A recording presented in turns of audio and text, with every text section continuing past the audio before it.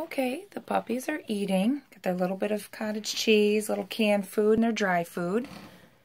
They did have a bath. Hi. They're so much more prettier. Yes.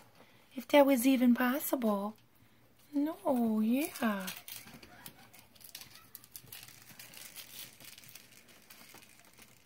So they will be going to the vets for their second set of shots. And they're ready to go.